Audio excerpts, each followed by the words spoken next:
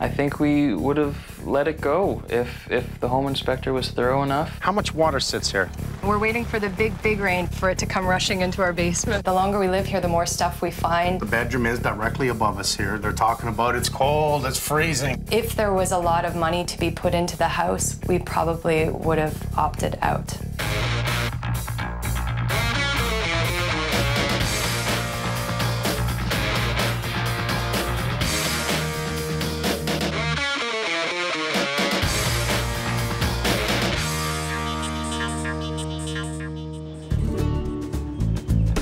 And Kelly, looking for their very first starter home. Kind of makes sense to live in the area of where they work. Everything's around here. Great for Hayden, their young little baby. They do the right thing. They bring in a home inspector. They walk around with him and ask him questions. What did he miss? I'm going to do a Holmes inspection, and I'll let you know. We were looking for a house with a backyard with enough bedrooms to um, cater to our growing family. One of the big things was that this house was a shorter commute than living outside of the city, which is what a lot of people do. We found this, it was just on the border of the city, close to, you know, public transit, and just seemed amazing to us. So it's a nice sized house, and upstairs there's four bedrooms up there, which was surprising. I thought it was three originally. And the, the basement was already finished, and I was like, oh, this is great. I can, you know, our, our little son can play down here. I can uh, put my guitars and my music over there. And, you know, it's just the layout of it would, worked out really well. We were both at the inspection. We went around all the different parts of the house. The overall rating of the house was above average, so we figured, oh, the home inspector gave it the thumbs up, so let's buy this house. It is a hot day. Looking back, we see that there was a lot of stuff that was missed. As first-time home buyers, we didn't have big bags of money going in or anything like that, so we wouldn't have bought the house if we had known that there was all these extra things that we would have had to invest in. We would have looked for a fixer-upper in that case. Brian. Brian. I'm Mike. Nice, to meet you. Kelly? Hi, Mike. Nice Pleasure to meet you. Is it hot out? it oh, is yes, it's- boiling. This is what we call muggy. And It's only spring, and I don't mind this. Look I at that, I see a leak right away. Yeah. Somebody's caulked underneath. You mm-hmm. see your, you have a J-mold trim there, and then hold your siding coming vertical. That's why you're leaking right here. The water hits that vertical. It comes right down to the J-mold. There's nowhere for it to escape. It's actually bleeding back in. Oh, Has it created any damage? It is wood. Is it moldable on top? The answer is yes. Has it molded? So should it be looked at? Well, it should be fixed, right? I'm looking forward to Mike coming, of course, but I'm, I'm afraid of what he's gonna find. I'm just, I don't wanna know. I noticed you have bedrooms over the garage. Let me guess. Freezing cold in the winter. Yes. After living a, uh, a winter in this house, we noticed that the, the rooms above the garage were freezing. We call one of them the meat locker. It is just I put plastic on the windows. We went out and we got a booster fan for our son's room. We closed the two doors in the front, put towels underneath, just trying to contain the cold into that front part of the house. How many times do I got to take this down and insulate it properly because it's never been good enough? But not too often do I walk into a garage and there's panel on the wall that's not fire rated. If a fire happens in here, it spreads throughout the house, not to mention that it's not even sealed properly. It's one thing I love about taking it down and spray foaming is that we stop that cold from getting into the house as well as we stop the gases from coming in it. Then we'll put up drywall and make it fire rated. Let's look at your grading. One of the things that we noticed that the home inspector didn't write anything about was our backyard, the leveling of our backyard. That sucks. Yeah, is that where your is that where your pond is? Yeah, well, in, yeah, in and around there, Yeah. underway. Yeah, I almost tripped on that. Look at that. Okay. So this is obviously the lowest area right here. Yes. The first major rainstorm that we got, we had an out, outdoor pool basically. It was, we look outside and we are like, oh my goodness, we've got a pool out here. What is this? And uh, I went outside and I checked it out and I ended up shoveling it into the grass because I didn't know what to do with it. I, I was afraid that our house was gonna flood. So a flat topography? No. It's not. No, we have bad grading. Is what we have. The inspector never touched on the fact that our ground was unlevel in the backyard. I don't see a lot of ventilation. Now I'm looking at your soffit. I see one perforated soffit here two soffits for your neighbors. And so this means we possibly have a lot of bad airflow in your attic. So did we see any mold or anything in your attic? No, he didn't mention mold. Did at you look all. in it? No. He, he did go up in the attic. He took his step ladder, uh, went up there, and uh, took his flashlight and looked around. He just poked his head in though, didn't he? Yeah, and, and said that the insulation was adequate for the, the age of the home and the size of the home. Let's go inside.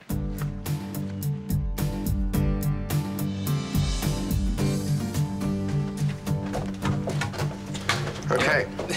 Your home inspector didn't talk about this, did he? No. No. Okay. If we have a handrail on the wall, it's totally acceptable. If we have an open area right here, this now becomes a guardrail. And a guardrail must be 36 inches, must have pickets, and follow all the rules that, so some, when somebody finished this basement, they didn't do it properly, and this is incorrect and should have been put in the report. I read in the report, plumbing, no problems, in big words. Mm-hmm. This is a bathroom sink, okay? It's, there's nothing that says you can't have it. Here's where the washing machine drops itself down into the drain. How interesting is that? What size is that pipe? Two inches, right? Okay. Goes down into a beautiful big trap that ties right back into an inch and a half. So we can always actually start with small and go to big, but you can't go from big to small. Because what that does is like the highway, it's uh, we look at it as a bottleneck. It starts to back up. Okay. Same thing here, and especially for a washing machine, you don't want that. As soon as the washing machine is dumping into that drain, and then you try and turn on that sink and have water drop down, it's going to have a competition of water, and that's going to back right back up. And I'm surprised you haven't flooded from this. So, plumbing, no problems. We're not sure if we have a drain on the floor. Well, you have a drain Wanted to say somewhere. you have a drain somewhere, but I see carpet everywhere. Where the hell's the drain, right? I'll see if I can find it. Pretend it never happened. We'll go upstairs. At least it's louvered. I'm gonna go through the rest of the house. I'll show you what I find. I'll fix it. There's a hole here, and something tells me this hole right here used to be an exhaust fan to a dryer, right? Because of the size of it. No one's gonna drill a hole that big to put in PVC, Yeah. right? So that's that's an electrical line. Mike's inspection went into the things that we never would have thought of that a home inspector should know, but ours obviously didn't. You know, it's funny. I look around these houses, and what do I see? Minor crack wasn't in the report easily. It's minor. Everyone panics when they see this and they think, oh my God, the house is falling down. It's not an issue. We'll just do some caulking and fill that area just to stop the water from getting in. The biggest problem that I see, and probably the one that's responsible for the break, both on the left and right hand side, is the siding. Since we know that water's coming in and it's directly responsible for how the siding and J mold is, water's gotten into here. I'm going to pull this down. It's going to serve two purposes. One, a full inspection to see what's up there. Again, to show me where the water's coming from within the inspection. Two, I can now insulate that area because I am going to gut the garage and put in spray foam. So now this allows me to insulate here, which is also underneath the bedroom above. How far do I have to go? Will I have to take the siding down? Oh, I'll know when I pull this down. It's obvious the grade was brought up over the years, including the driveway that's old. And that's why I mean over the years, because if the driveway's been done and I can tell this is old, it's been brought up over the brick because for many years now, this being approximately 40 years old, that water on that side of the property is going to bleed in and hit the foundation. Now, this is supposed to be the vent for the uh, central vacuum. I don't think they need to run the muffler out of this side of the house. The problem that I'm seeing is that the vent is so low to the grade as snow gets in, what does it do? Snow gets in, it melts. Same as the dryer vent. The problem, once again, is that it's too low to grade. This hole right here used to be an exhaust fan to a dryer, which told me somebody changed downstairs. Wash and dry used to be here. That leads to so many other questions, electrical, plumbing. What was closed in? How did they close it in? And it's not the best way to actually run wire across the wall and then tie it into a second light. They have conduit, why didn't they continue? And it's a shame, really. This will be the area that possible water has penetrated. I'm going to take down some of the ceiling in here because it's going to show me some of the things they've done. More than likely, I'm going to concentrate on that corner. I used to have a laundry room at that area, sink, electrical. I want to know what they've done. Mr. Bennett. Yes, sir. What do you got for me? So the inspector comes in. Yeah. No problems in the garage. What does he say? I need a door closer on the Yeah. door. Right. It's an interior door. Yeah, well, they tried to put a door closer on the door and it fell off, right? Yeah, it's, okay. it's not biting It's hollow. anything. It's a hollow core door. Worse than that, here we have a 3 eighths of an inch drywall, right? Because of the joints, because of everything else, Yeah. it's not fire rated, it's not proper. We're gonna have Right. issues of uh, off-gassing from the vehicles coming in the house, and guess what? Spray foam. freezing cold on the 2nd I'll floor. bet. Simple things. I'd like to pull all this down. We're gonna have to find a place for it to go because I don't like it this way. I'd You rather sure? have shelves across. Yeah. No, no, don't do that. I'm, I'm underneath it. Okay. It's only held by a few screws, dude. Okay. we would easily pop that down. Other issues I have is the central vac. We have a muffler line that runs through the house and up the other side of the house. Uh, I haven't gone in the attic yet. The last time I was here, it was blistering hot. Yeah. Oh, yeah, yeah. Here we go. I'm gonna do this. You don't even have to. You can just tell me. Okay. heads or tails? I'm gonna go heads. Gonna go heads? Yeah. Oh. Tails. Oh. That means I no, win. I know. That's tails. Does that mean I'm going up alone? Yes. Damn. Okay, we have a rail. so at least we have a rail. Problem is, is we have an opening and now we have guard issues, right? Right. So we see a beautiful little laundry room here. Mm-hmm. Totally wrong. Plumbing, electrical. Interesting. Everything. And as a matter of fact, the home inspector didn't notice anything about plumbing. really? I mean, take a quick look, right? Oh, a two-inch wow. line running into an inch and a half, and it's just, it's a T. So here's what I want to do. We're gonna probably open up this wall, Yeah. do washer and dryer, okay, and change the door, and then we'll do a laundry tub. So try and fit this up. Okay. Deal with Martin. I've already talked to him about it, and maybe the maybe the washer's here and the dryer's here, and the sink is there, right? Still leaving a little bit of storage because there is a door to underneath Yeah. the stairs, right? And maybe just moving the door. We'll address everything else. I do want to pull this down. Now, with the grade being high, it tells me over the years they had water coming in. Mm-hmm. Look at the corner. I know. I just saw that. Look at the mold. That's where there's a pond in the backyard. Right. here. Now, also, the, the dryer used to duct out right here, right? Right. So his water coming in there. Now, we, oh. if this is showing on this side, Right. it's the other side I'm What's happening about. back there? Okay.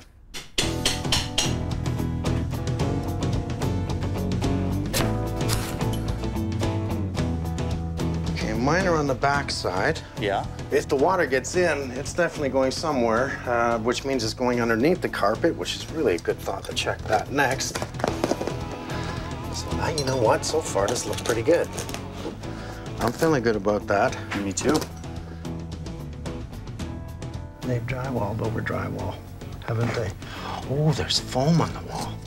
Now, it's styrofoam. It's not a rigid foam, but it's pretty damn good if you want to look at it as a point of insulation. It's better than batt insulation. Right. The reason that's hard to break is because of the foam behind it, the styrofoam.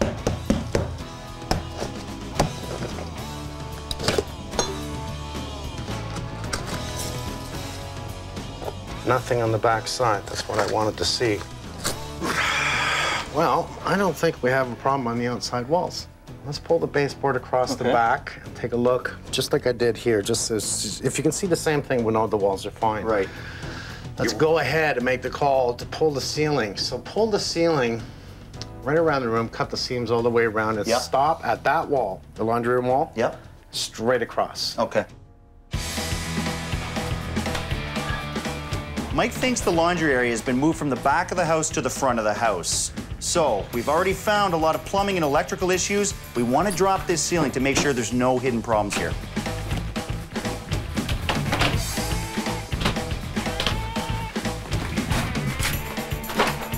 You know, it's funny, the home inspector didn't say anything about grade. We have a drop to the front. I really like the way it goes down. They've picked up the side. You can see how they followed the brick all the way up. Actually, we do have a poured foundation, so they've come up over the brick. Now, by code, we need about six inches of foundation Yeah. and then brick. Uh, obviously, I can't drop this down because I'm gonna have a bathtub here, right? Especially the backyard area. You can see this one spot here. So this here just fills with water right to the wall. And it makes total sense. We got higher grade there, higher grade here. Here's the bottom of the bowl. The problem with this is someone has brought the whole corner of this property up and created the bowl. The fence all the way along it, they've built it up along the bottom. The tree's not helping. No, the tree's not helping. It's lifting the earth up there because I can see the rundown from this side. Good meaning people, they put in a garden, don't think of where the water's gonna go, and they capture it. Everything is stopping right here. Then if you come out into the back, you can actually see Yeah. that pitches down over there. They've got huge grade issues all the way along this back corner. That being common area on the other side, we can trench a weeper through it. Okay, make it so. All right. Thank you. Okay, Carlito, you got the ladder in here? Yes, sir. So, call it. Heads or tails? It doesn't matter what it is. I'm going up. Not necessarily. all right, all right. Uh, I'll go with uh, heads. And it's tails. Oh, let me see. No, it's tails. I would have rather spent a bit more money on the home inspector and not invest in the entire house and, and find out all these different problems later on. Well, I didn't find a lot, buddy. I did find some Got stuff. it nice and neat. Yeah. Uh, hidden junctions Yeah, we just got one here, open face, right? and against code. Another one there, yeah. Now the plumbing. So we had no vent upstairs, and here's the other hole they Exactly. had. Yeah. I got a funny feeling that in behind the sink. It's there. Yeah, so somebody put in the new sink. Whether they capped it off or not, they closed it off. There's a Yeah. vent. I know there's a vent. That flex line is probably for that register that's in the floor, and they couldn't squeeze it in. We're gonna see that better once you drop this side. Okay. Now we're gonna get Frank to check the electrical. We'll get Martin to check the plumbing. Gary is already here looking at the furnace. When I drop this ceiling, he can do a full HVAC inspection, especially the duct lines going up to the second floor. We got a big issue with this hot water tank venting. This one is not even connected. You got a big opening in this pipe. It's a four inch pipe that's going from four to three inch. Incorrect venting. I cannot leave this like this. These people can die in here. Um, you're having carbon monoxide spilling from this venting, let alone you got a big opening gash that looks like it's never been patched inside the supply air. So you got a lot of air volume getting lost in this room. Whoever did the home inspection here should have caught this definitely, if they even looked at the furnace for that matter.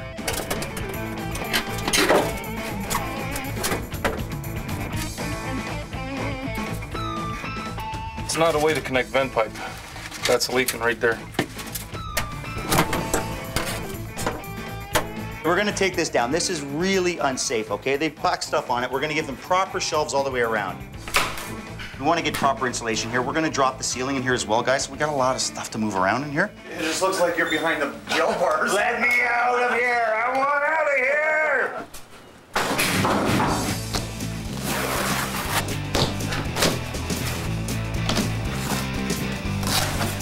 The fact that we see black on pink insulation is just meaning that there's air circulation behind the wall. We're in a garage. There is not supposed to be any air penetration because what is this supposed to be doing? We're supposed to be stopping carbon monoxide and smoke from entering the house. This is why we tape our seams. This is actually indicating that there's a lot of air movement behind this wall. What does that mean? Smoke comes in here, this fills with smoke. It's gonna be doing the same thing, getting behind the walls and getting in where it's dangerous.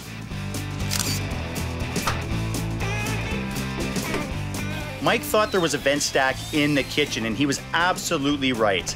Instead of tearing out all the cabinets to actually get at it, Martin has come up with a better plan. I've actually dropped the trap uh, from the from the kitchen sink down into this uh, cavity. Yeah. I'm allowed to do that uh, because uh, I have a vent that I found in the basement that I've utilized Right. for this uh, particular trap. So I was able to solve two problems within pretty much one exercise or one task. Clean up the kitchen drain and inside the cabinet, as. Yep. well as uh, be able to connect the trap to the venting with an allowable limit and, and meeting all the code requirements. Very smart.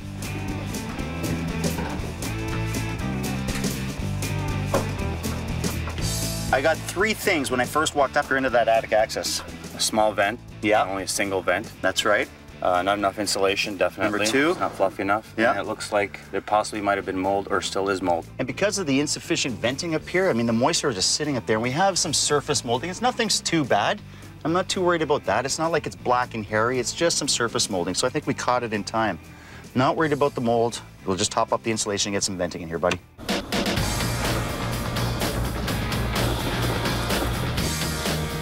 Well, it's definitely leaking, but it's not leaking tremendously. It's coming in here. I don't think it's penetrating the house. We see no signs of water damage on the inside of the house, which is good news for us. So it looks like we just have to tackle this area, figure out something to stop the water from actually getting in. The thing about the laundry room is it was one of those things of, oh, that's weird. Oh, well, we've been living in an apartment for six years and have to go down to the basement. laundry. So we have a laundry room now. Okay, yeah, fine, I'll, I'll deal with it. I just want you guys to lose the drywall. We're gonna start playing with some ideas on how to make this functional for her and make it proper. And it'll actually give Martin access to this sink today too, because he is gonna rip that out and start fixing it.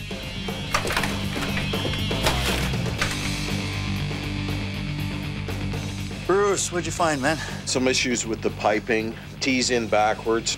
Right, it's just like plumbing, right? You want it to flow like this. You don't want it to have to come back all the way to this part and then you have to go flow back into the unit. Exactly. And then we've got some short tees, just basically clogs waiting to happen. Right.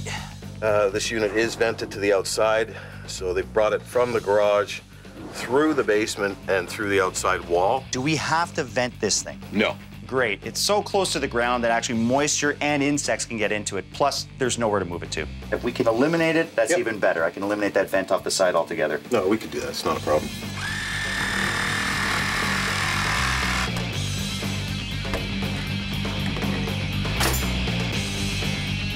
So besides you taking that out, I, one thing I have to do today is find that drain, and I know it's under this carpet. Even if I run the camera from uh, from this clean out, it will take me out to the street.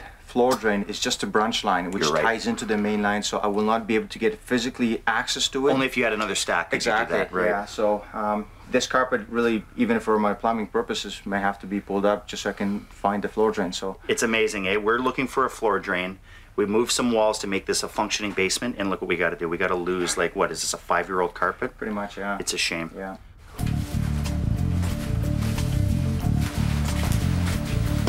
Uh, oh, what do we got there? Is that it? Uh, give me your quick pick, please, or is that there? I've never seen an electrical plate over a drain. There's the drain. Martin, see what floor we found? drain. Yeah. Now this is why we didn't find it. Actually, they had like a, a metal cap on it. Yeah. And they used floor level here. You There can you actually see it, so they answers that, leveled yeah. it out. That's Yeah, why we couldn't yeah. find it. So uh, I think we should scope it. Um, I want to know if there's any problems with it. Obviously. It definitely is original piece. It's a clay material. Yeah. Um, so the video camera will actually give us an indication of what condition this, this pipe is in and uh, there are any issues. Right. As you can see on the screen, we do have a piece missing. Oh, Um, right at There's the, uh, actually a section of a clay pipe that is missing. Is that what I'm looking at right That's here? exactly what you're looking at. Yeah, there's a piece missing, and, uh, and if I pull the camera back a bit, Yeah. uh, you see that crack actually continues farther up. Oh, so what this allows is literally soil to get in. Yeah. And as I was trying to push the camera farther into the floor drain, it's just completely blocked. You know, it, this can only last for so long. We're fixing the drain. That's what you're telling me. Yes.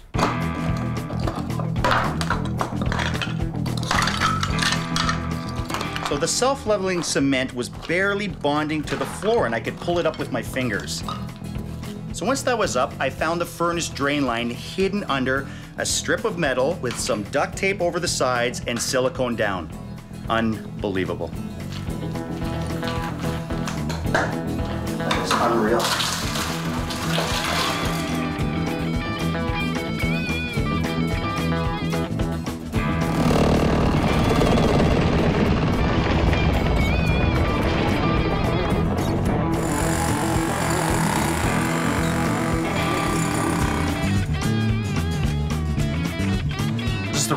Going to the second floor through the garage. So I'm basically sealing up all the joints. There was a lot of openings in here. What happens is if you have any off-gassing from the car or anything that's in the garage, that'll get sucked up in through your return, which eventually is gonna go out through the house. So I started by putting the silver tape on. You know, the silver tape is good, but it, it gets cold in the garage, so eventually it'll dry out and peel. So I'm kind of going to the extreme here. Again, you know, you go to the extreme. I'm putting a sealer on top of the tape, which is very flexible to hot weather, cold weather. So it'll it'll flex in and out. It won't peel off. It won't dry out. Um, so I think you know that's the best way to seal this up. Get the tape on, get the sealer on. That way you get nothing leaking into the house. So we've already started taking a look at this. What's happening is obviously the J channel's filling from the siding, right? Well, yeah, when the siding was done, you know, they've installed basically a uh, flashing. Yeah. But typically what you want to do is, is actually make this a drip edge. So what's happening here is it's running down the face, running into the Yeah. soffit overhang. So what we can do is we can slip a drip edge uh, in underneath this existing flashing. Yeah. And then kick it out this way. That'd it be actually great. And could we do that along the whole edge here? Yeah, front and back. The back of the home is the same situation. Right. Because So- they didn't bring it low enough. You can see actually they didn't quite bring it low enough on the front edge as well. Yeah, even if they uh, had they dropped it below the, Yeah. the elevation of the, the soffit, that would have worked as a drip. Right. Uh, but the problem here is because it's it's you know basically flush. Yeah. It's just transferring the water back in. So we have some trough here that's been leaking a little bit. What do you think of it? Uh, well, it's in good shape. Are you okay with the size of it? Yeah, it's it's five inch trough. Um, it's aluminum, so it's in it's in good shape. Right. Now, downspouts, other issue. Well, really, the only problem with the downpipe, again, it's aluminum. Someone's gone along and stapled the, Uh-huh. maybe Christmas lighting into it. We're thinking Christmas lights because they did it right across the front of the house too. They came all the way down here. I mean, I thought venting. I don't know. Air behind water, right? Help it flow? Well, no, it, it, I think that's all it was was was was that. Yeah. You notice the corrugations in a downpipe. That's actually to prevent freezing.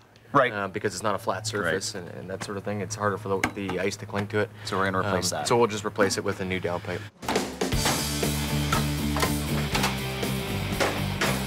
As soon as Steve's guys got on the roof to actually start doing the work, they realized that all the trough had the same staple holes as the downspout did.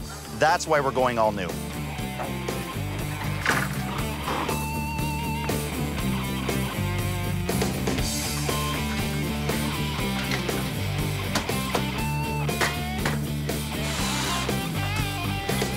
So when you dug this up, this is what you found? You found this PVC pipe? Pathetic. Someone has taken about a three or four inch PVC pipe here, drilled some holes in it, and has actually connected into a hole. He's created a hole into the clay drain pipe.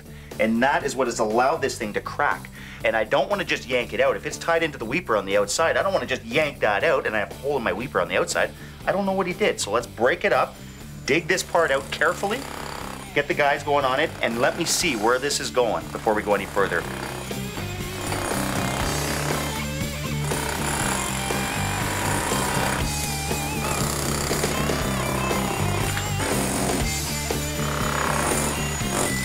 Get another shovel. Let's just dig this out carefully, please. I want to see where this is going.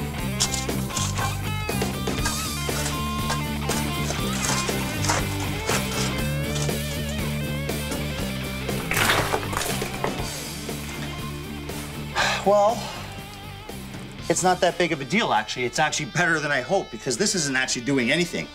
At least I know now I can do this and not have to worry about it somebody has tied this drain into the weeping system downstairs, into the homemade weeping system. It was bringing a lot of water into the house unnecessarily, and you can actually see the amount of water that's actually come in here today by looking at the corner of this patio.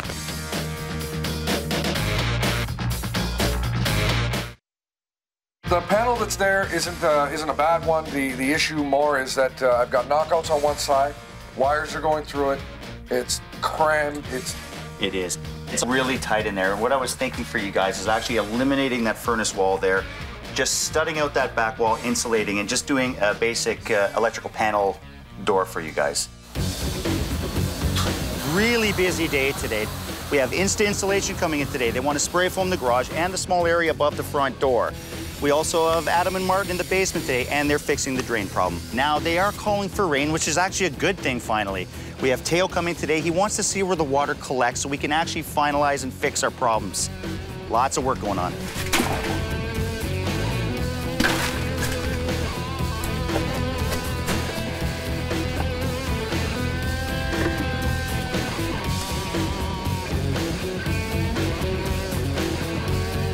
Got the floor drain set up. This will be trimmed uh, when the final level is set. Absolutely. I'll get my floor in and then we'll cut it flush afterwards Yeah. and I'll just stick the drain cap in. So that's actually perfect. We have the drain within the laundry room now. That's awesome. And we have one last drain to take care of. That's the one we're installing in the backyard. Teo, you, it's a perfect day to see why we're actually doing this drain. We got about three inches of water already. It's been raining only a little bit this morning, right? So one problem, we've got a gas line right where we want to put the drain. I have two hydro lines back there that come off the transformer at the end, two major electrical lines. We also have cable back there, plus who knows what else. So we really don't want to start digging back there. Let's swing it that way. you want to swing it out this swing, way? Swing right under the fence. This way we can go a little bit steeper, get the water out of here right away. So we don't have freezing issues and everything else. I like that idea. Let's do that, okay? So let's start mapping this out. Let's get the guys digging. This isn't gonna let up and it's not gonna be fun.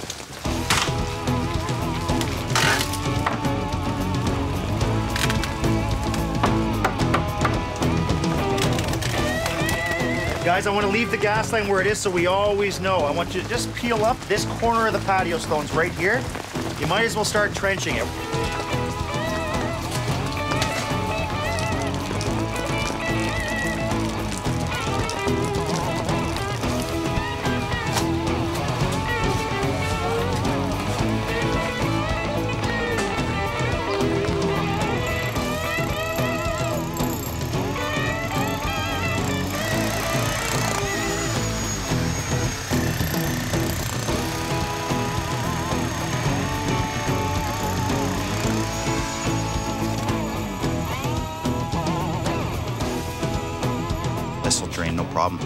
Like the leaf catcher idea, so even if the leaves sit on the bottom here, water can raise up and it can still get make its way in here. It's smart. And the other thing is too, it's got a sump in the bottom, so there's a space for the homeowner to get in there once a year, twice a year, to get in there, clean all the debris out of the bottom of the unit. Which they should do on a regular basis, at least you know twice a you don't want any contamination getting into the field. Right, right, right. Pitch on this. Your pitch is pretty good right now? Yep. We're installing a new type of weeping system that's essentially a weeping tile surrounded by pieces of polystyrene and encased in a geotextile. It cuts down on gravel and construction costs in the end, and it's completely made of recycled materials, which is always a good thing. Now all the water that used to collect on the patio can actually flow into the drain, out through the weeping system, and leach into the surrounding area.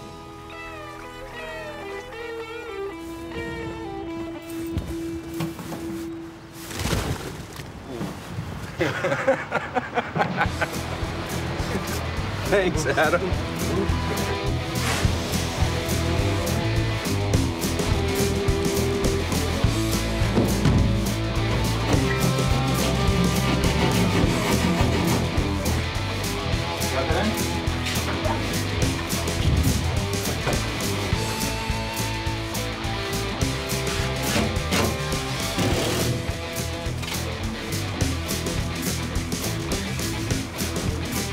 We got to make sure that uh, all the gaps are 100% sealed. If they park their car in here, we don't want carbon monoxide going into the house. So we got it insulated and everything, drywalled, mud it, call it a day.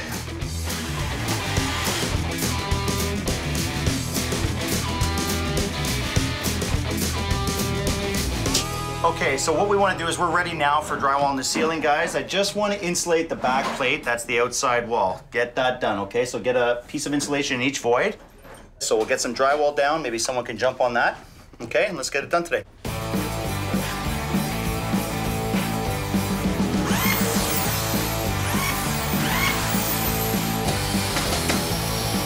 Well, it looks like a mess to everybody else. Everybody asks me, well, how do you know what is what? I'm used to it. I know what is what. I got to replace my lines that are coming from the meter base outside in. About half an hour and about another hour to cut this in, so give me about two hours. And uh, we'll have this powered up.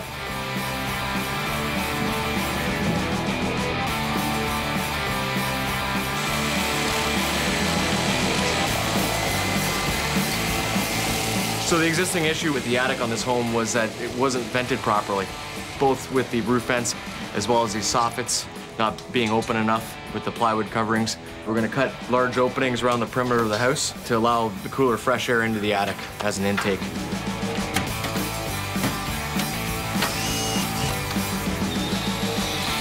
Cutting out our uh, opening at the ridge for the ridge vent that's being installed. That's the most ideal spot to vent a roof is right at that uh, top peak where all that warm air is traveling to, correcting the soffits, the roof vents, and the attic insulation with proper uh, baffles is going to really get the airflow going in this attic.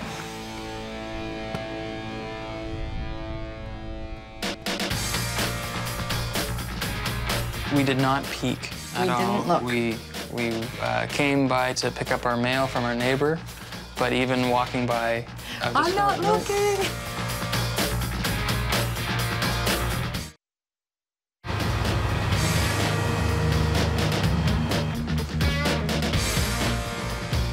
That's good enough, guys. We'll wait till the sod gets here, and then we'll, do, we'll border this whole thing, okay?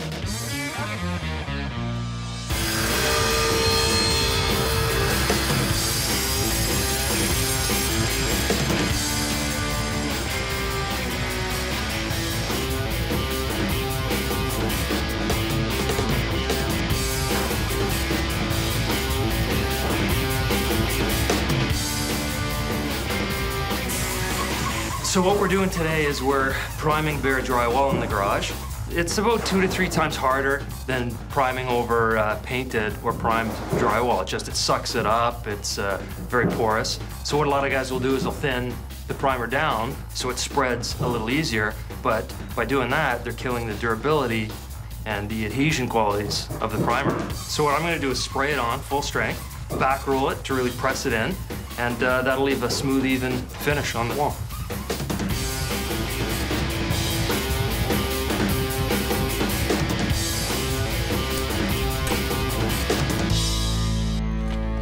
This box on the outside is a weatherproof box. It's a metal enclosure. They're rated to be installed outdoors because they're sealed. Plus, with the cover that I have on here, there's a rubber gasket that stops moisture and water from coming in. If you remember before it was all pipe work, it was just, just a big mess. I was able to run all the wires on the inside. We ran a new circuit for the outside plug because it was tied in with stuff inside, plus with the lights. Done all wrong. Now it's a dedicated line. And also now when they go to turn the lights on and off, it is the proper way.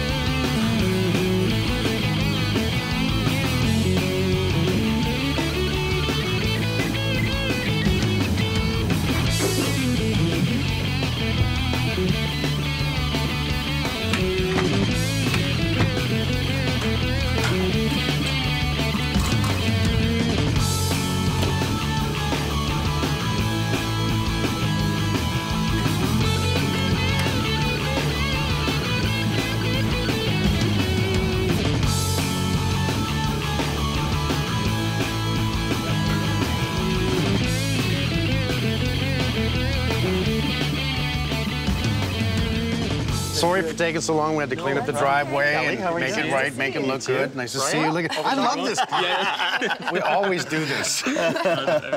so you know what? Is we built you a new house. You know I'm kidding. Come on. But the garage looks nice. Well, it's actually somewhat new, somewhat clean. This is actually a nice steel insulated door done properly, opens in, not out, but not that the other one did. It was just completely all wrong.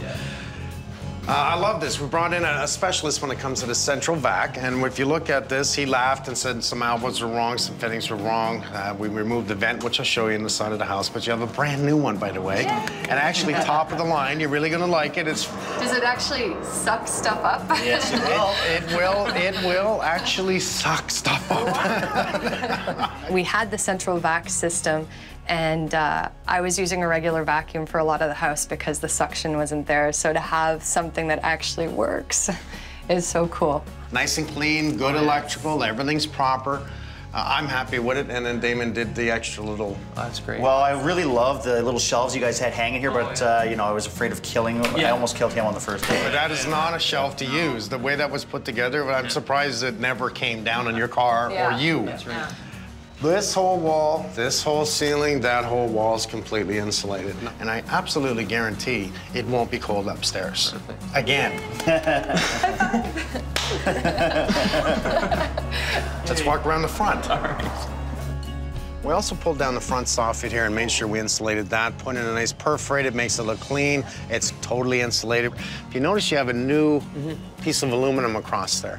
So now it's completely caulked across the top. You'll have no water penetration at that point. I'm happy. And notice there's no vent here. Where's the vents? Yeah, they it's gone. disappeared. It's gone. That's because both were removed. We brought two high vents up here, which is the oh, proper way of doing it. I asked Damon to put in a gable vent, and that's in your attic space. So that gable vent will now bring in the fresh air as much as on the roof. Brought in Steve. He's got new eavestroughs, downspouts. I don't know if you noticed. Oh. And on top of your roof, not only do we have a gable vent, but we put in a ridge vent. New soffit vent underneath, ridge vent on top, gable vent. Now we're gonna have that air pull through the area that is very important. Mm-hmm. Not to mention there's about an R50 of additive in your attic of insulation. Was it like R20? It was about half of that, yeah. Yeah. Remember that big waterfall of Yeah. water that Yes. came a pond here? well, now you have an actual drain. We dug a trench all the way over to that side with a big pit, so the wa- this gets picked up. We had some heavy rain in the past couple of days, and this took it.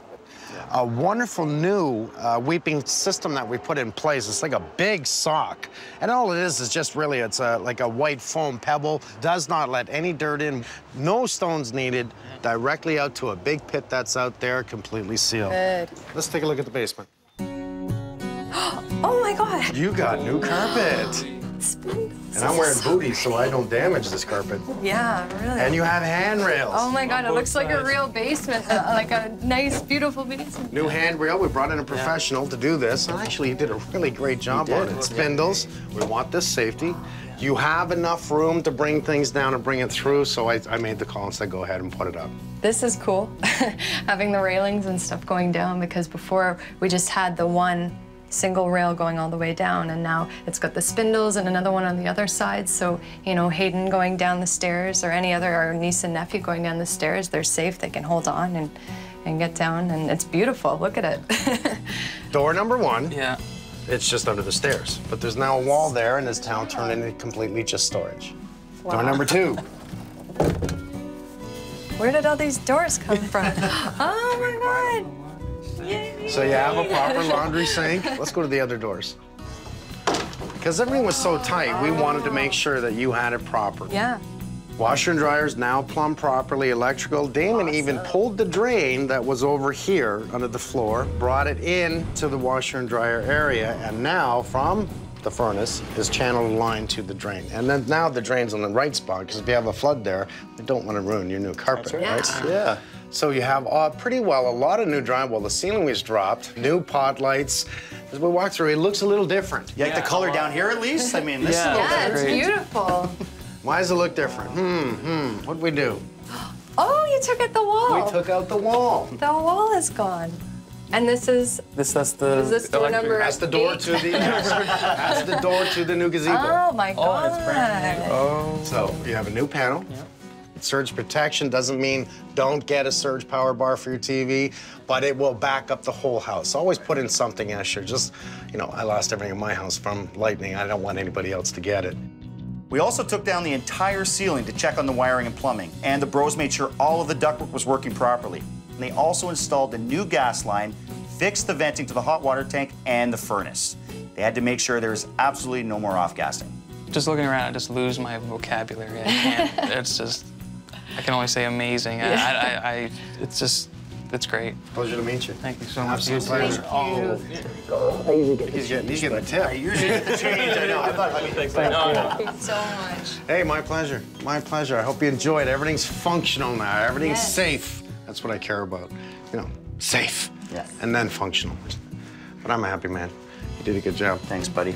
Everything. It was just, uh, you know, you kind of put these things through your head, like what could they do? And it was just beyond our expectations. Just, you know, uh, uh, incredible. High five. Oh, please don't end it with that. Okay. we figured as some Did sort you of do a painting? Maybe. Oh, no way. Did you do that? Do I look like that? you gave me more hair, too. that is really good. Few little things, no earrings. I'm gonna cherish this. Thank you. Can I give you a hug? Of course. I won't get my sandwich on you. Thank you. That's awesome. I really appreciate that. The home inspector uh, didn't find any major issues uh, except the ones we already knew about. Clear. And he was very, very impressed with geothermal pump as well. It's really a badly crippled uh, system, you know, as it's sitting right now. House was constantly cold, 14, 15, 16 degrees. Problem is, whoever touched this house contaminated it to the point. Look what I have to do to fix it. We are tired of this winter. We are tired of our problems. You just need the system to work.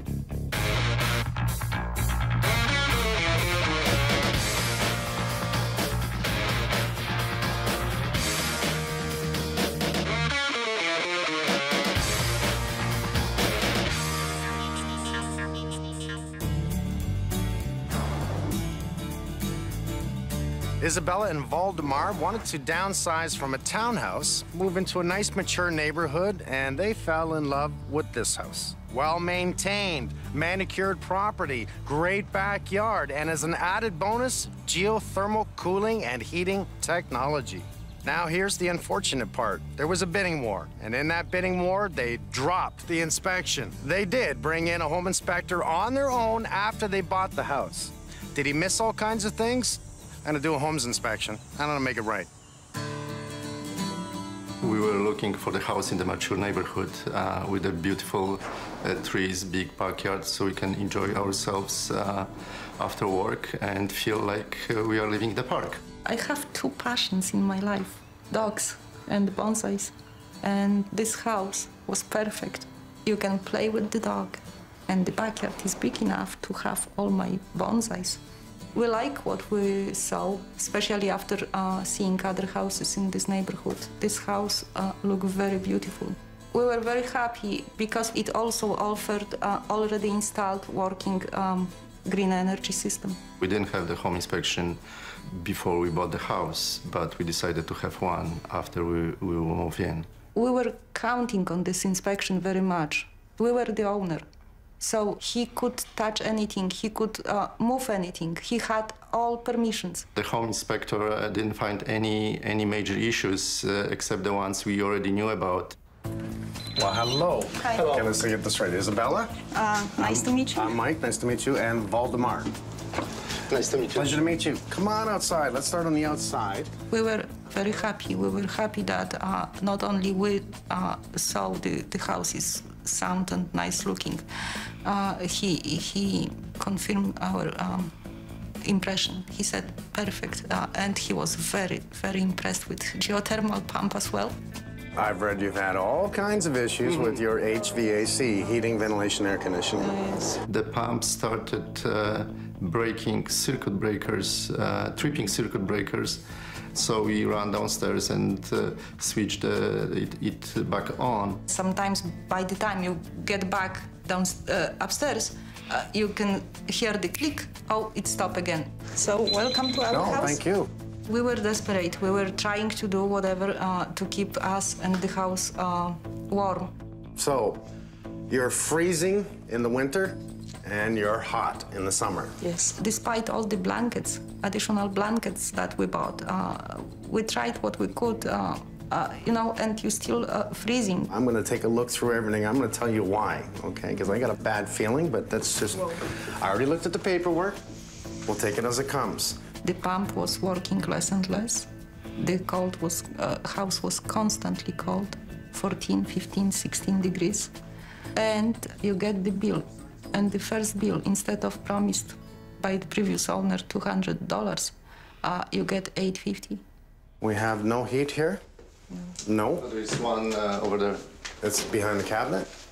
Okay, so we, and we have a baseboard? Uh-huh. We have a baseboard. Home inspector afterwards said baseboard heaters are considered supplemental. I don't like this. You have one of the best heating sources in the world using geothermal technology. Do you understand geothermal technology? yes, do. Using ground temperature, mm-hmm. right? The average temperature of the Earth is around 14 degrees Celsius. We have vertical loops that go into the ground. We're running liquids through those pipes that become that temperature. We bring them into the house, into that geothermal unit. We can now heat and cool the home efficiently. Mm-hmm. Still a nice home. But nice homes can have problems. I'm going to grab my tools. I'm going to closely look through your home. I'm going to see what we need to do. Uh, I have a bad feeling we need to replace everything to do with your heating because that's just the way that it was run. It's not the way to run this.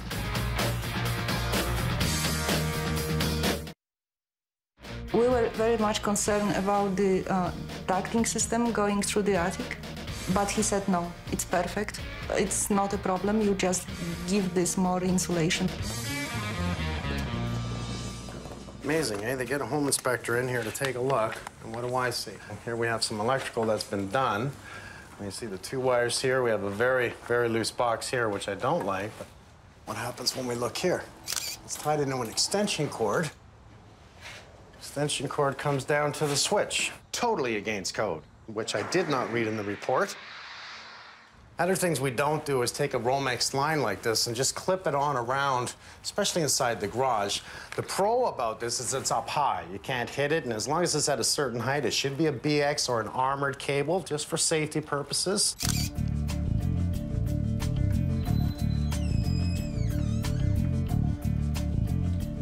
I said a lot of the ductwork was run through closets, and you can see clearly. They've just boxed this in. Kind of stupid. The floor's open for me. This is an air return in the closet. Look at the dust buildup on the wall here. They've got an air return in the closet. That's moronic. I am getting nice cool air out of here, so this is good. The problem is I don't have enough throughout the house, and as long as I have an air return in the closet, no other air return here, we have pro- improper airflow. See all the black? That means at one time somebody's used these baseboard heaters quite a bit, and what doesn't mix is a very hot source a flammable wood. Whenever you install one of these heat registers, it says right on it that nothing can be above it. It must be installed on the outside of the wall and not a wall built out over top of it. Fire hazard, that's most definitely. Can't believe it hasn't burned the house down. From a nice built house to someone who's come in and done some work. Look at this. This is the drip line from the furnace. They've trapped a drain in the vent line, which means you can actually do it. But this is methane gas coming out of here. There's no trapping that air from coming back right on the main sewage line. So just allow all this to bleed back in. Look at this. This really starting to upset me. That's not right. I had a home inspector go through the house. Did he point this out? No. Hmm, let's see what else I find. I don't see a vent. I see mold. so no air vent. There's nothing in the wall. I don't know if it's vented through the floor, then it's vented behind the, the trap and not in front of the trap. The home inspector did say something about the mold, but nothing about the venting issues. This is a new system. I want to know if permits were pulled. Very sloppy installation on the ductwork. They've opened up this return and they got a sharp piece of metal on this pipe. We have copper touching ductwork. Yes, we want a return down here, but we don't want a return like this with all the pipes running through it. Look at this. That is an extension cord that runs over to a switch with no grommet on the box. And that's supposed to use an extension cord, by the way. And where does that run to? Oh, look. Look at how they spliced in. See that splice right there?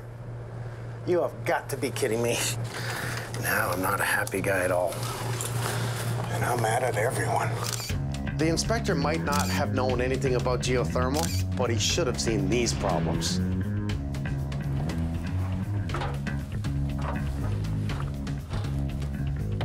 This is not the way to insulate an attic, I'll tell you right now. They've insulated in between the ceiling joists, and then they insulated over top. So one to run one way, one to run the other way, and they'll sandwich it. The problem is, is that all your edging is going to allow bleeding out. So no matter what, the heat loss is going to be large in here, so they're going to lose heat in the winter. The biggest problem I see is they've taken the center of the house, they ran the channel up, or the main trunk line that comes off the HVAC, the geothermal unit. They brought it up into the attic and dispersed their hoses out and dropped it back in the ceiling. So we're gonna have a reverse effect here. In the summer, when you're trying to blow cool air into your attic, it is so hot like it is right now that it's competing with hot air. This is a hot zone. In the winter, it's a very cold zone. And the problem with that is it's gonna compete with the cold. By the time it actually shuts off, it's not gonna be so warm in the house. I wanna see Damon. There's no information, there's no documentation whatsoever about this geothermal. Where's the wells? How many wells were dug? Yeah. You would think if you're going to sell the house and do this, you want a report to go with it. The problem was nobody wanted to come. Nobody wanted to come. Everybody would say, what kind of system you have? Sorry, we are uh, servicing only systems that we know that we installed. I was called in because they have a geothermal heating cooling system. Love it. Yeah. There's no information, there's no documentation whatsoever. I'm bringing in the geothermal guys. Yeah. So what we want to do is find out where the hell they dug the wells. We're gonna have to talk to them first because I don't want to just dig blindly and, Right. and, you know, hey, look, we found worms. The problems that I have here is that I, I don't want to take this down. I love this. The old the old lath and plaster. It just works really yeah, because well. this is a cement finish. This is a real drag to come down. But Gary is going to want to get in here. He talked to me about it a little bit, and he does want to do some runs in here. He wants to eliminate bulkheads on the inside. Well, we're not going to do what they did and run all the flex lines Right. through the center of the house up to the attic, Like back octopus. down to the house. We're going to have to do it like a standard home, which means I'm going to take down the ceiling. So there are bedrooms, a bathroom, and an office right above us. So the best way to get heat lines into those areas is through the garage ceiling.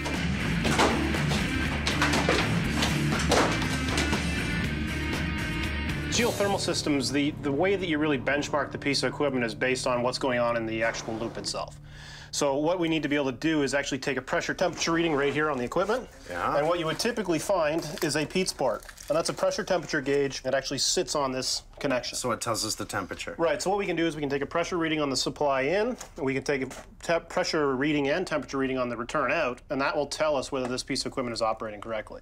Now there's two temperature gauges. I'm going to I'm going to assume that's what you're talking about, Pete's port, that are just on the other side of that doorway there. What would they be for? Right, so you have a pressure temperature gauge that's mounted. The problem with the mounted gauge is like anything, it'll actually lose calibration over time. Okay. You want to go in and do testing with equipment that you're familiar with, uh, whether it's digital or not digital, so you can take readings directly at the unit. We don't care what's happening out in the loop field, we care what's happening right here on the piece of equipment. And internally, there's just issues everywhere. Simple little things like when you look at where the flow center is connected here, you can see we've got solid connections. But yet when we look at the return one, we've got silliness like we've got this red tubing, right? This should be a straight connection going out all the way through. And for some reason, they've decided they wanted to put in some red garden hose. So what we'd want to really verify with the equipment is it's actually got a domestic hot water option, and what that means it actually does preheat on the water in the home. We Oh, want is to that right? we want to actually verify a is that hooked up, uh, and the other thing is actually just verify the operation of the equipment. We have no idea if this. I mean, the equipment may run, but that doesn't mean anything. It's like a, an air conditioner. You can have an air conditioner that runs. If it doesn't cool the air, who cares? Right. You know, we really need to get to the bottom of Well, it sounds like it's working, right? Yeah, You well, hear you running. can hear it running. Yeah, if the fan's turning, that doesn't mean it's working. Okay, so you're going to go through this, and then you're going to tell me what you find. And I already know we're taking it out, but I'm really curious to see what they've done wrong. Right. The geothermal guys want some of this ceiling open. We can see that there's an actual vent right here and there's a vent right behind you. So right where my arm span is, okay guys? Right from there to there.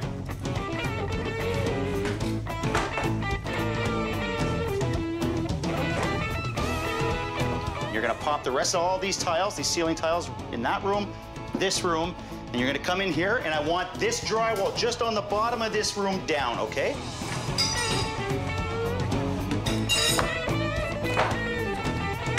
Uh, basically, we're just trying to uh, trace the geothermal lines, see exactly where they go to outside, and then uh, I believe we're to be doing some digging. Okay, we have MJ, Carl, and Rob in the basement exposing some of the ductwork for the geothermal guys. We need to do the same up here in all the closets. So this one in the closet directly above us, all this drywall needs to come down to see what they used here, okay?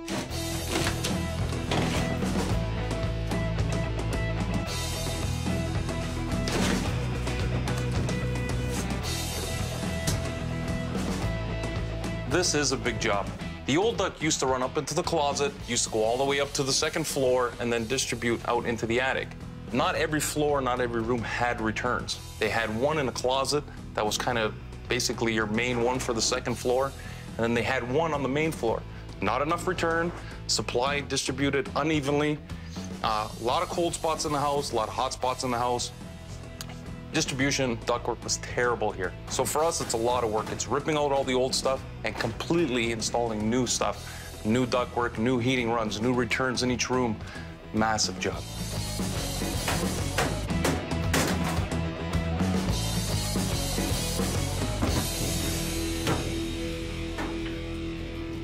Rob, I had the guys open up the ceiling because obviously we want to find where they went outside. Now, it's funny that we see this. I thought right away that we had two lines going out, but I think one of them is an underground uh, sprinkler. This would be the geothermal out to the vertical wells, right? Right. Grade is right here. They're right underneath the ground. Right. So that's just going to freeze. Uh, you should definitely be below the frost line, yes. Which typically that that would be minimum that we would like to see is three feet. All right. Let's dig a hole. Joel, I can't tell you that we're bored, but we're definitely going to help you, okay? All right. Um, yeah, you got a tarp there. You want us to set up another tarp? What are we trying to do here? We're just trying to follow the line? Yeah, we're just trying to find uh, the entry point, which uh, we suspect is only about a foot to a foot and a half down. Yeah. Uh, just trying to find where it goes in, see what's happening. Okay, well, let's get these guys involved too. Let's get them all digging here. Sure.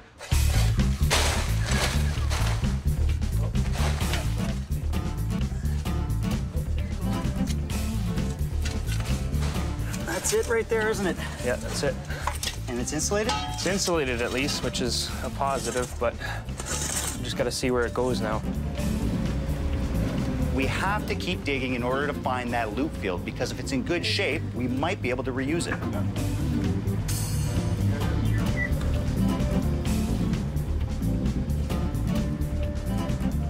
Everything we've seen so far is a little messed up, isn't it? One thing that was, I think, of real concern is the fact that the lines were buried so shallow. What are we at, about a foot, foot and a half here? Yeah, generally we we looked at the whole site, and that's about what everything was, was buried at. It's just about one foot below ground level, which um, kind of sends up some red flags. The other thing that's of real concern is that all of this is right in the tree roots. Anytime anyone ever does anything on the, this property, if they go to dig in another tree or shrub, or uh, if there's any utilities, Good point. they'll be right into these lines. I mean, isn't this sending up enough red flags that we we stop here at this point? I, I think so. I think we wanted to make sure that either we were 100% uh, good with, with reusing it, or if it made a case for replacement. Which what you're saying is, I don't think you want to attach to this. No, I think we've seen enough to know that we're probably uncomfortable with doing that. I think that's the best call. So now that we've decided that the loop field is not reusable, the geothermal guys can fuse the old lines together to make sure nothing leaches back into the ground. And while they finish up, our guys can gut the entire basement. I mean, there was electrical issues, off-gassing issues, there was no plumbing vents in the bathroom. I mean, a lot of problems. And at this point, it's just faster and cheaper to start from scratch.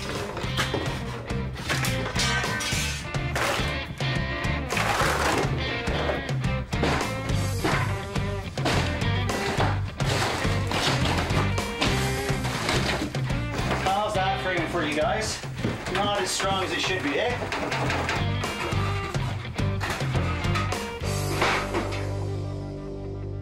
So what do you see wrong with the unit? You know, a couple of the complaints that the owners had were in regards to the noise, for one thing, and uh, also the high utility bills that they were experiencing. And uh, one thing that we're seeing here is, uh, as far as noise go, it is quite noisy when the unit is running. Why is that? Is that Well, the, the piping has been run directly from the machine, which there is a certain level of vibration that is created by the compressor in this. And they were attached like right up to the floor joists of the, the house right above us. Oh, okay. this. So as soon as it's vibrating, it's vibrating the house. Right, so the harmonics would go right I up through the through the floor of this area that's uh, that's right above us here.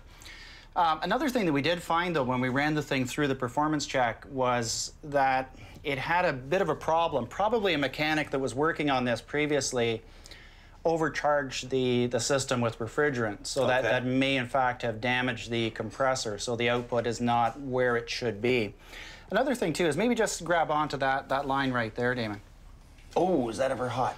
Right, and, and that um, this machine hasn't run for several days, and yet point. and yet you can feel how hot those lines are.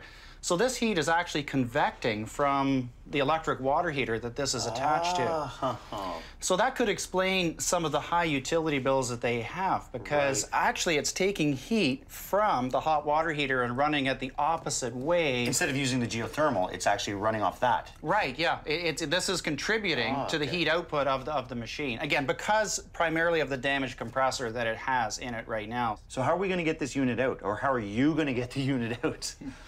Well, we'll just disconnect all the lines, and I think we can slide it over there to the uh, to the opening, and then we have a cart that we can load that onto and uh, and get it up the stairs.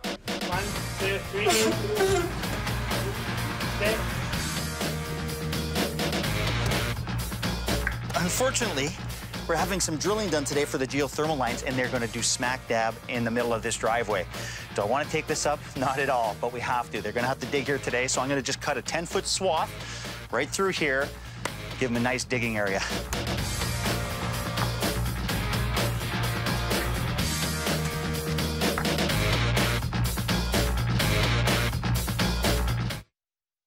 You're already gonna do new eavestroughs and downspouts, I can tell right there. Probably wouldn't hurt to put some smart screen on this side of the house, maybe the back side as well due to the trees. New soffit vents. Probably remove the old louvers. They're probably packed with, you know, insulation, dirt, and Yeah, yeah, and such. yeah. So remove the existing ones, replace them with new, and then add uh, additional soffit vents. So really busy day today. We have the new geothermal unit here, which means we can put the house back together, get the homeowners back home. Okay, guys, if you actually want to spin in here, this is the home of the new furnace room right in here. Now we're going to install the unit in a new utility room that we built instead of the crawl space where the old one was, and this will make it easier to install and a lot more accessible. My guys are actually framing like crazy. We're just trying to keep ahead of all the HVAC installation that's happening today.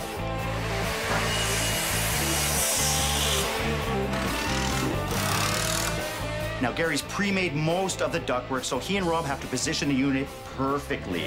Slide that over, That's perfect. Sure. Martin is here to reroute existing plumbing and run any new lines that are needed for the geothermal unit. And last but not least, we have Frank here today. He's going to start rewiring the entire basement and make sure any changes we need for the new HVAC system are in place.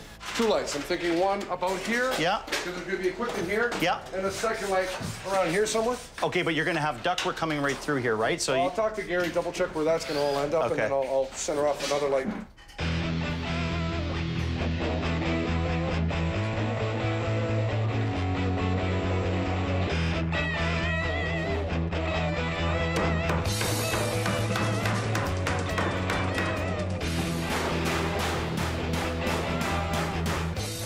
Today. We got to finish off getting the rest of the supply in, get the return in. We got the electrician here, plumber here.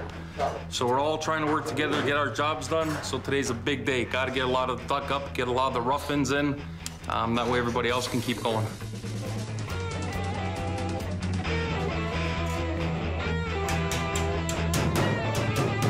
actually, you're two, almost two and a half there. What I'm saying, you want to lift it up for him? Yes.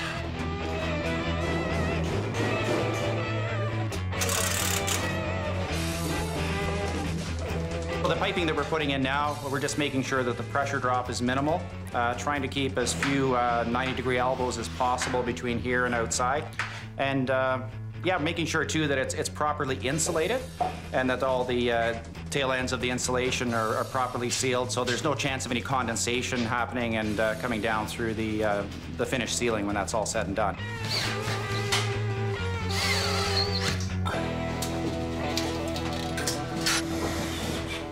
Okay, he's doing return, return. Where, where does he want his supplies? Well, he's got six lines coming through, including the return airlines, and we're, he wants Four. to come through the wall here. To return for feeds. Okay. We don't want to come under floor joists at all. and I don't want to restructure this. I prefer we go through the floor joist. Let's go inside. That's why I was calling you in. I didn't want to do that until I talked to you. Cut open the ceiling across here. And don't be afraid to take the floor. So come in, I will build the wall out. Come up through the floor, have them use the void in between. So we don't have to go through the break. As much as you can go through the floor joist, I prefer. And you know there's going to be two by six wall here. I'm fine with that. Because they're going to lose a bit of space. I'm fine with that. The living room's big enough. It's huge, yeah. Uh, you're gonna have bulkheads one way or the other, so it's better just to put up a new wall and then spray this wall. Yep. Right, spray On it right to the outside. Gotcha. Good? Absolutely. Love it.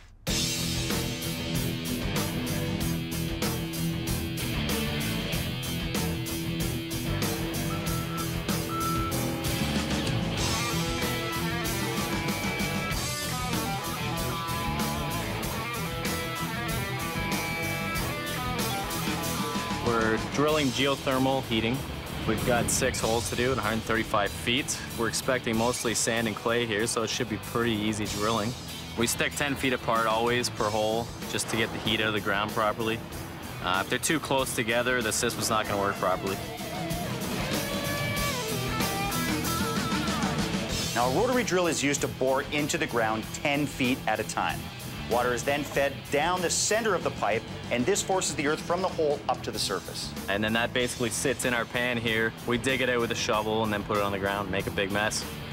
And then at the end? And then at the end, we get it all vacuum trucked up. You'll never know we're here. That's awesome.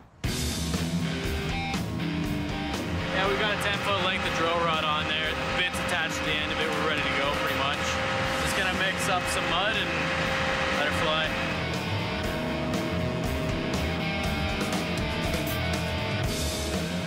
This is a quick job. Basically, it, uh, with the right amount of quick draw, you can build the walls of your hole with it. We gotta keep our hole open, put the pipe down. It's, uh, it's our objective there.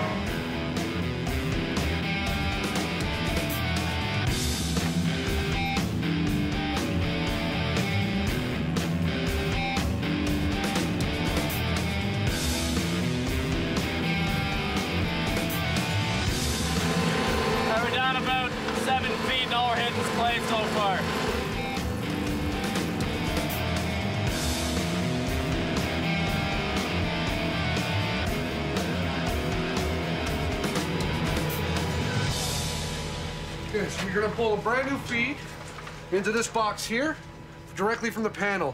So the original feed was uh, this wire here, then they ended up using this wire, which is called a 14-3, which brings a current and a switch line over into this beautiful contraption. So we're gonna lose all this and just bring in a brand new line right from the panel.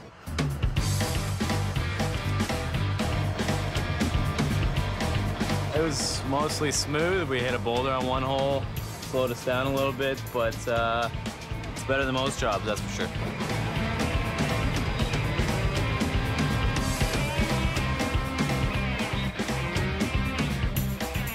Just rolled out 135 feet.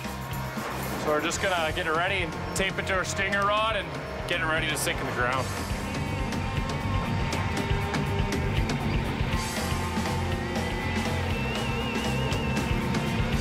The bottom of our loop, a three-quarter inch loop.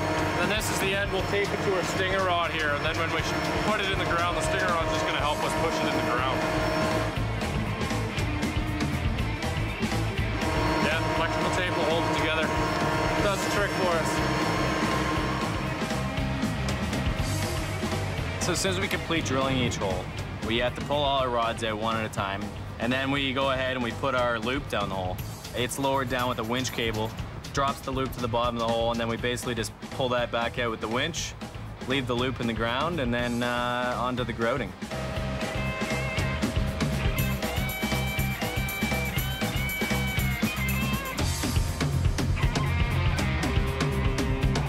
So although this house has a multitude of problems, we're here to solve a couple on the exterior. We've got some uh, soffit louvers that are uh, quite jammed up with dirt and debris. Uh, so we're gonna be installing some new uh, vents themselves, upgrading the eaves troughs. They're um, older four-inch troughs that have sagged and, and lost their flow. So we'll be removing those and installing a five-inch seamless eaves trough and installing smart screen to keep all leaves and debris out of them. The other issue we talked about with Mike uh, on the soffits here, you'll see a lot of this um, mold or mildew kind of uh, uh, starting to appear on the soffits themselves. Uh, again, due probably just to uh, venting, poor lack of venting in the soffit, um, potentially ice dams and such, because the air wasn't being able to circulate up through the soffit into the attic and then carried out by the roof vents. Well, we're going to vent the soffit properly so that it actually gets some airflow in there so that it doesn't reoccur.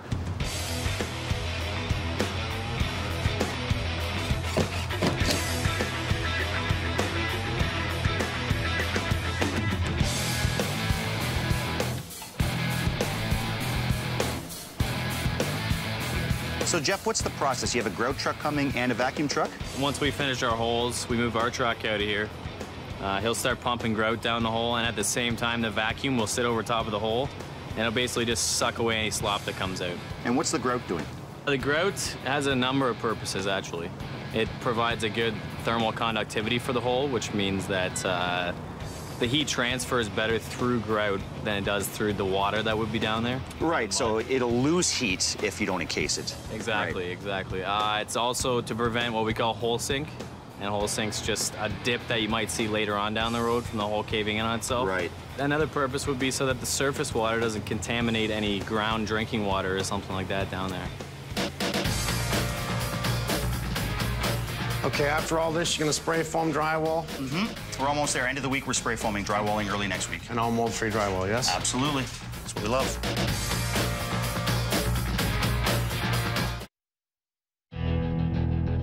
It's very shocking. I never expected so much work has to be done here. We knew about the heating system. We knew we had problems, but we never expected that there is so many other things.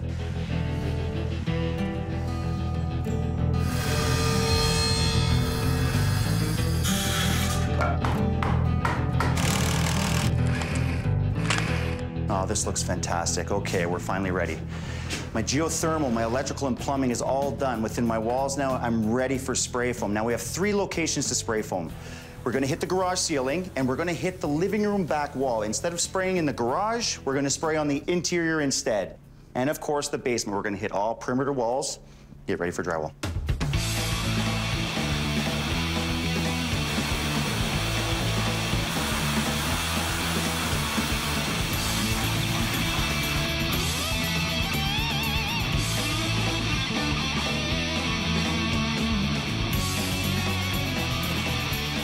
So what are we looking at in terms of days here? It's a day job, pretty much. I brought four guys in Yeah. to make sure I got it done uh, quick so the tapers can get started. I'd say you guys flew on this, buddy. Like, there's a lot done, so this is great. I can call my mudders in almost immediately. Like, we had spray foam yesterday. You guys are already drywalled 90% of the, the basement here. Yeah, it's uh, moves fast when you got good guys. Absolutely.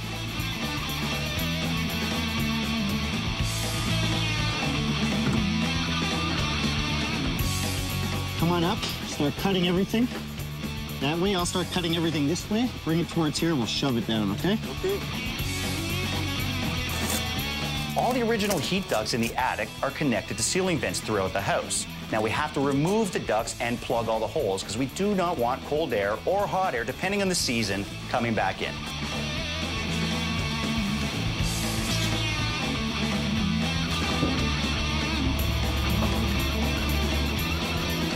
Today we're going to uh, dig up all of the vertical bores and then we're going to uh, bring them back uh, and manifold them all together which will distribute the water solution uh, throughout all of the pipes uh, equally. So I saw you making, I'll call it the flute. Just tell me what you're making here. It looks like a manifold to me, but Yeah.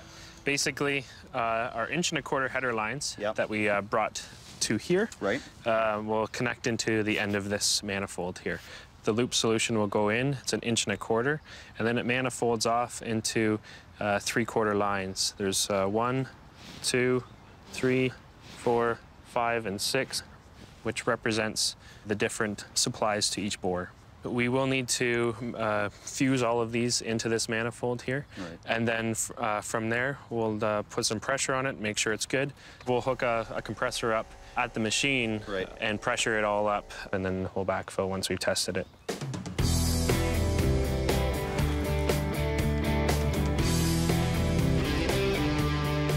Big day today. The geothermal is actually done in the yard. We have Rob from Buchanan and Hall today actually coming to turn it on. We have drywalling happening. We have mudding happening. Doors are going in today. All the last little finishing touches, plus turning the furnace on. The end goal today would be to get the unit on. We're going to do our final tests to make sure that we have proper numbers going through the machine. And basically, um, we want to make sure that the machine's taking enough heat out of the water to make sure it's it's operating the way it should.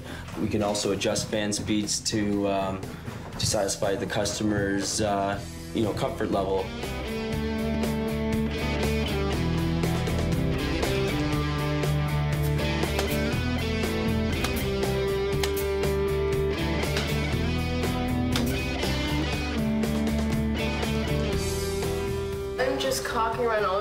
Baseboard and trim so we can finish up so the painters can do everything and we'll have a nice finish.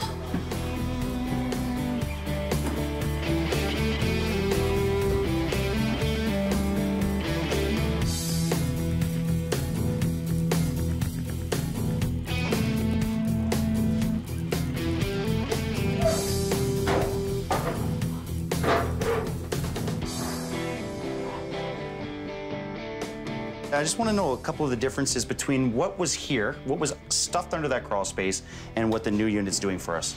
One of the major complaints was in regards to the noise. And when we did run that unit, there was um, a lot of noise and vibration that came from that, and that resonated right up through the floor and into their living room. Right.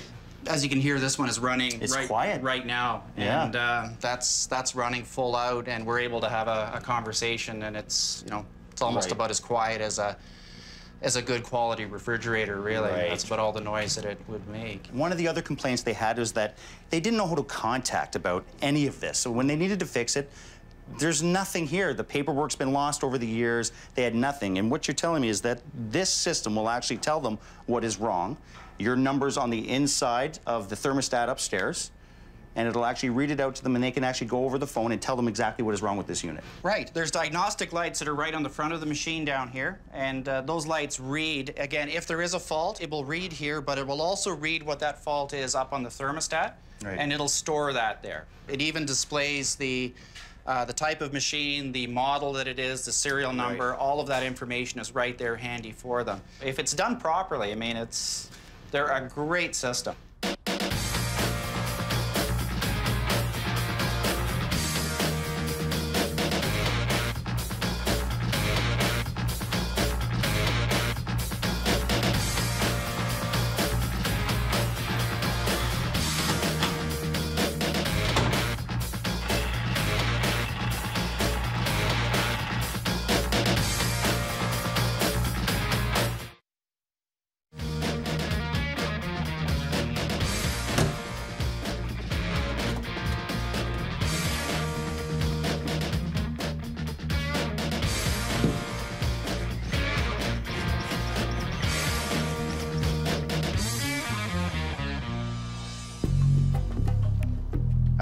Been staying, but I hope you've been comfortable. Very where did you stay? yes. Uh, with my daughter. With your In- daughter? Yes. Okay, so that's not so She bad. was- no, no. This whole driveway pretty well was all pulled up. Relayed everything here, cleaned up the bush line. Even I thought it was impressive. You know, as we walk over and take a look, new eavestroughs, new downspouts, which really has cleaned up the whole front. Wow. That's that way all the way around the house, including on the back of the house. Put in some smart screen to stop the leaves from getting in your eavestrough and blocking the system. We got to talk a little bit about what we found. You already knew the last time I brought you here that uh, the geothermal was just below grade. So we went six holes, 135 feet deep. We did a whole new vertical loop system in your front yard, fixed it all up, and you can't even tell we were here. So, uh, a lot of work was done inside your garage. Uh, we had to pull down the whole ceiling, right? Because what we had to do was refeed your whole house with new heating. So all new duct lines, everything had to be redone. With the insulation, we make sure we spray foam on this, right? So we get all our duct work in. We want to we want to keep it on the warm side. So you brought the ceiling down, is that right? Absolutely. We dropped the ceiling by, I'd say, maybe a foot and a half. So you're going to see a lower ceiling here, but there is a hell of a lot of spray foam up above it. And it's clean. Like we had to come through the wall with how many runs? Six runs. Six runs altogether came through that wall. Whoa. So just above this, this is where we had to feed. There's a room above, so we have to get your basic heat runs to the front of the windows. It took a lot of work. It's beautiful. It's just Already? unbelievable. yes, yes. I'm, I'm so happy already. And you now have a door closer, so you got to make sure that door doesn't close on you. So now we got to hold it. Awesome. Okay, let's start in the hallway here. Uh, you remember when uh, the first time I opened this closet, it wasn't a closet, right? No. Because they damaged the floor, we fixed Yes, the floor and put in yes. a tile floor. So it's now a closet. Very needed closet. Very needed. Yeah, well, you didn't have any, right? You didn't oh, have one yes, I upstairs or didn't have any. So yeah, thank you so much. Just a basement. Go It's a ahead. Go ahead. It's just new carpet on the stairs. Oh my God. Now, this is honestly Damon's fault. Wow. Because I said to Damon, don't finish the basement, don't finish the basement. We got a lot of work to do. And uh, we did all the work, and he finished the basement. No worries. I'm going to have to actually give all the credit to my guys. I mean, I did cheat a little bit and pushed him a little too far, and he said, do what you want. So this was completely gutted, completely. There was nothing left in here. And we took everything out and redid it all. We studded the walls, ran the electrical, spray foam on all your walls. You're not going to believe how warm this room is going to be in the winter. You will not believe it. You remember when I first brought you in, the geothermal went out the wall right here. It was six inches beneath the, the earth, right? Yeah. It now goes out the wall down here. So it's it's the way it's supposed to be because we brought in all the right people. With the design, we make sure we do proper bulkheads, nice and high, covering everything in just perfectly. Works out nice, you know, lights throughout, they're all match, everything's nice and neat, and everything about this is the right way. Every single product is mold resistant that we use, the drywall, the carpet, everything we use. I'm happy. So are we. Come on. I told you we were gonna lose your bathroom and you're gonna lose your kitchen. right? So uh, you lost your kitchen. But that's the most beautiful part of my house now. This is? Yes, So you yes. move downstairs and rent out upstairs. I So you have some work to do, my friend. I'm kidding. We took out your kitchen, but we did give you a bathroom. So let's look at the bathroom. Okay, you go ahead. You just walk around. Is there a bathroom We'll follow here? now. Whoa. Beautiful glass shower stall. Uh-huh. New toilet, new everything. Nicer bathroom all around. No, but oh, more than happy. Come on, it's like it's an enormous job, and we never expected such a beautiful things. This is enormous. We were hoping seriously that perhaps uh, we will get a little bit of patching here and there, perhaps a little bit of shine to it, but we never ever expected that we will get a diamond. Nobody can do this, but you people. Come on in to see your new utility room. So go ahead. Whoa. Whoa. We want to make the utility room exactly what that means. That's going to be our laundry room. That's going to be our furnace. Our electrical panel in the corner, which was completely redone. I love Frank and his boys to all the work they've done. We took out of the crawl space that unit that was there. We put in state of the art. This is a beautiful system, and you can see how professionally it's installed. I think it's a great idea that everything was moved from the uh, crawl space and put here. I think it's uh, Yeah. it's a much easier access and uh, Yeah. And very and- easy to use yes. as well. Yes. What I love about this system is that we are taking Earth's natural temperature and we're raising it by a couple of degrees, putting it throughout your house. So it doesn't cost a lot to do it. At the same time, as we're heating to 140, we'll put it into a holding tank. Now, this holding tank, instead of wasting it, because we are cycling, think about how that water uh, goes. This now assists your hot water tank. This is one enormous team.